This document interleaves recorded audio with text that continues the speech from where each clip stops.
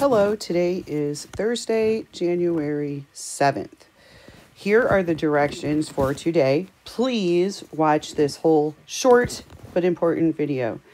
Today, I'm going to talk to you about what your artwork choices are for this week, being due Monday, January 11th.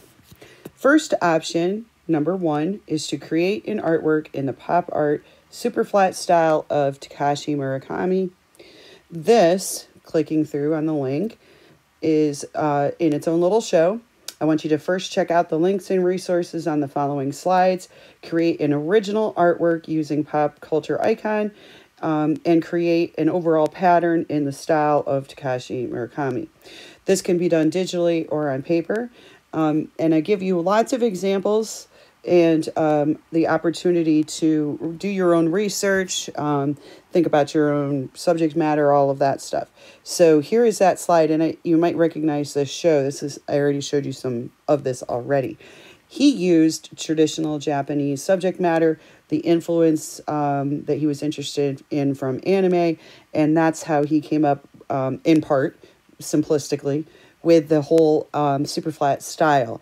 So using what you've heard, what you've seen, and maybe even some more um, research into it that you do, you want to come up with some ideas about um, pop art imagery, um, sort of things that our culture takes as, um, you know, symbols maybe, or other kind of easily um, identifiable things that Americans like, or, um, you know, could depart from just typical Western culture as well, but things that that we would like. Okay, so to create an artwork in the style of pop art, super flat style, you would use, um, well, he used playful icons inspired by his interests in anime and traditional Japanese art. So, what kinds of things then could you use? So, I just brainstormed a few. These are not the things that you would be required to use, but you could use.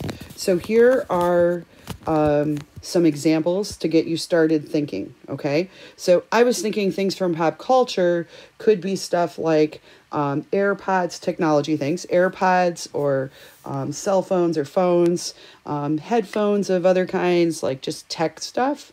Then um, I was thinking along uh, the mar- great marketing scheme um, Coke, Pepsi, power drinks, then there's so much in the way of celebrities, and that's like on all platforms and formats, like athletes, musicians, TikTok, you know, whatever. And then sports logos being another one, um, or athlete, you know, athletes could be with that too. As far as traditional Western art styles, so where um, Takashi was inspired by um, traditional uh, uh, printing, I suggest for um, Western art, which is different, still life or bottles or fruit, you know, that little setup. Um, portraits of important people. That's a really common thing throughout all of Western art.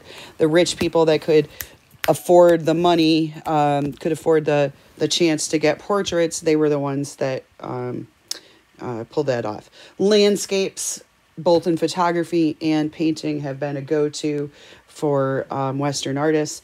And then also crafts, and especially throughout the history of the Americas and Western art, but also there's been a resurgence of that, like cross stitching and needlepoint and embroidery and quilting and all and knitting and all kinds of things like that. So then um, you should uh, start generating some ideas. Check out the links and resources again, sketching. You need a good subject that you could draw or duplicate over and over again um, and bring in color because remember, this is the color unit. So I decided to use the um, go with the Coke and Pepsi sort of idea and like how there's always been this like rivalry and sort of back and forth war, and the logos are really important to the branding. Um, and that's become sort of like this icon in pop culture all itself. Um, so that's pretty interesting. So I sketched out a couple ideas one where it looked like a quilt format, one that looked like a still life, and then one that was an overall effect like his flower. Then you want to start to develop um, your composition. You could have an all over pattern um, repeating across the entire thing. Um, or like him or you could start to think about what would it be like if it was a more traditional western style. So then quilting is a really big thing in my family and like my mom was a huge quilter and people in her family before her. So i was really thinking about how um, i could incorporate that idea into my new artwork. So that's the one i went with and i have a screenshot here um, showing some of the things that i did but i also want to show how um, and lastly how to really concentrate on making deliberate choices every step of the way.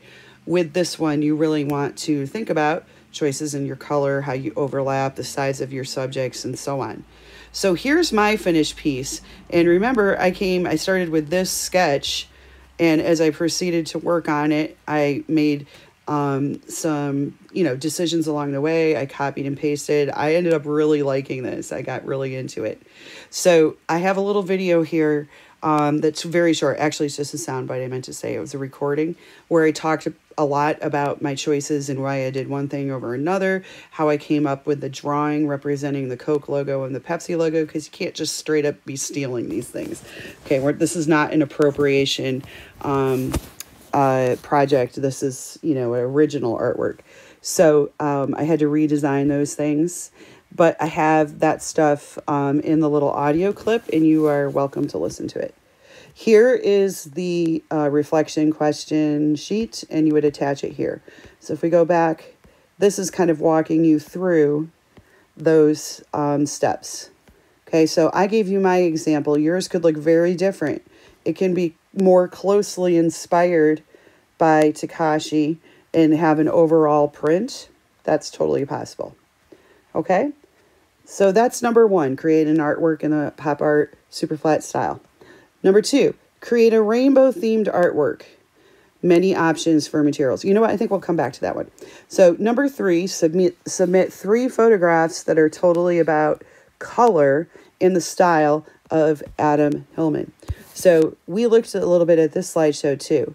He cuts and peels and arranges his multicolored subjects very deliberately to create brilliant artworks. So if you click on that wheel down there, you'll go to his store and be able to see some more of his artworks there. Here is a click out to the um, article about him. What's key and essential here is the deliberate placement of colors plus tints and shades to bring attention to different parts with no manipulation in an app, just the photograph. So here you're going to aim for clear, clean, and neutral backgrounds um, and the POV of bird's eye view, straight from above, no distortion. So you're going to have to plan ahead. You're going to have to establish like a clean area to work.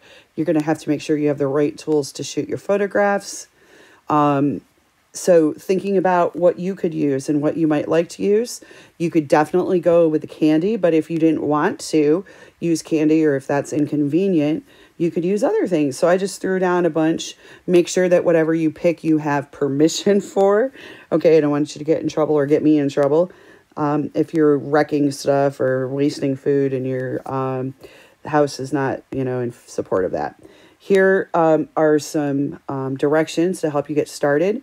You definitely want to have a plan first, at least to some um, extent, so that you're not winging it in a way that causes you a problem. Um, sometimes when we wing it, brilliant things happen, but most often we make the work a lot harder for ourselves. Okay. Choose and create a good subject, uh, excuse me, a good space and surface for your work. Needs to be clean and clear and not distracting. Make sure whatever you're using, you have permission. be deliberate in your choices um, shoot your photographs from above. You want to avoid keystoning, which means um, if your camera gets a little bit off, it'll look like the bottom or the top is wider. That does not work. It's distortion and we don't want it. So please don't let it happen. Take more than one photo because sometimes you screw up. Sometimes uh, it's out of focus, so make sure you choose more than one and do, um, or take more than one and then choose the best. And make sure you have good light. You can crop and adjust on your phone. Now, you're supposed to have three, so I would not think for a second that they would be the size and complexity of Adam Hillman's. So keep it a little bit smaller in scale and try three different um, ideas. Here's the sheet for question reflection, and then there's the attachment. The last one is different in that it is not inspired or attached to any artist. It's more open-ended um, intentionally. So the last one, create an artwork that is emphasizing color, uh, themed rainbow, and organized in an effective composition. This is very open for an artwork choice. Rainbow is the theme and requirement. So what else? Deliberately organized composition with emphasis on color, a clear focal point worthy of looking at, open subject matter and materials. So you can kind of do whatever you want. However, I'm trying to make it clear also that you can't just draw a red, an orange, a yellow, a blue, a green, and a purple line on a paper and be like, yep, that's a rainbow, and that's what I'm handing it. Okay. So I will be really important to see what you do on your um, weekly artist log to show me what your ideas are because it really does need to be deliberate with a clear focal point that's worth it. So just to show you some ideas, oops, sorry, I want to move that up a little bit. Show you some ideas and also um, point out what's good about these. Darn it, I'm trying to just make that part go away, but I can't. Okay. So things uh, that I found on the internet that I um, think that you could enjoy and do something like this, but totally not saying do this, you know, just ideas. Blended, bright, and vibrant. You could use colored pencil or an app with that, especially with that oil brush effect. Subjects do not have to be um, realistic. They could be creative in lots of ways. Uh, photography or photography and digital compositing if you wanted to do that, you definitely could.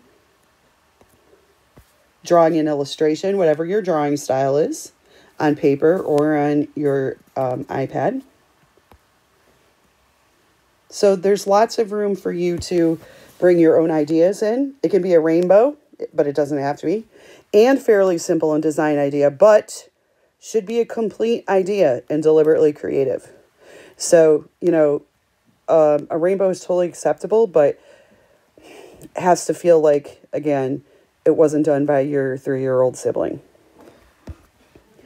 You'll brainstorm and plan your artwork, give me an idea through your WAL, and then answer the reflection questions and attach on the next slide.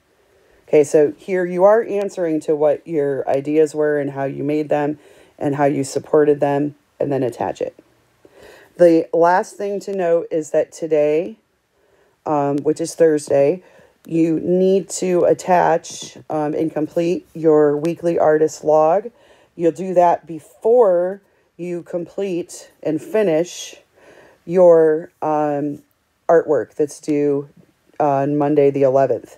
So you need to do this once you've started your artwork, but not when it's finished. If you haven't started this artwork yet, don't fill this out because this shows me your in progress work so I can give you feedback on it meant to be done in the middle once you've started it, but it's not finished.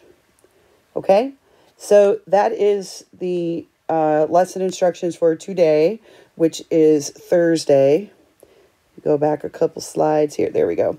Intro to 111 Artworks, and now it's a work day and your WAL is due today. If you are working on your artwork and you're staying on track, that's what should happen. Remember that you had a classwork due on January 5th, which was Tuesday. So if you haven't gotten that turned in yet, you sure better be on it. Email me any questions you have.